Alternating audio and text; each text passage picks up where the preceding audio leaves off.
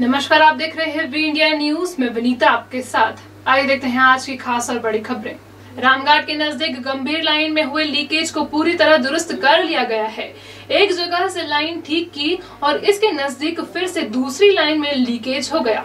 इसे ठीक करने के बाद सातवें दिन पुराने शहर में पर्याप्त दबाव में जल प्रदाय हो सका।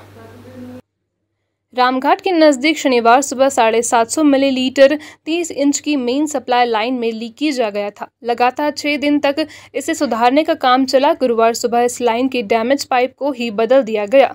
इसके बाद पुराने शहर की पानी की टंकियों को गंभीर लाइन से भरने का काम किया गया। छोटे पुल के पास हुए लीकेज को सुधारने के तत्काल बाद चक्रतीर्थ के पास 400 मिलीमीटर 16 इंच की एक और लाइन में लीकेज हो गया।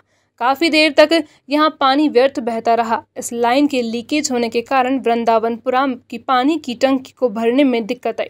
गुरुवार शाम तक इस लीकेज को भी सुधार कर टंकी को भरने का काम शुरू कर दिया गया था।